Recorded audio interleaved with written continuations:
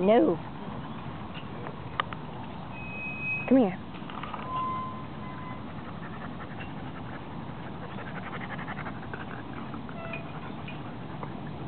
Yeah, exactly.